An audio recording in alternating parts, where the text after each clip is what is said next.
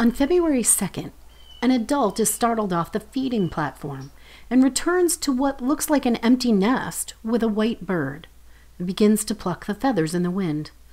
Until the chicks have hatched, the adults don't usually eat in the nest, so this is exciting. The nest is at 39 days, so it's totally possible there's an eaglet in here. But it's so windy, it's hard for the camera to stay focused. See how the feathers are flying? The adult may be finding pieces to feed a youngster. The female returns to the nest, and the pair look like they're bragging to each other. And above the nest, three juvenile eagles are circling out of view.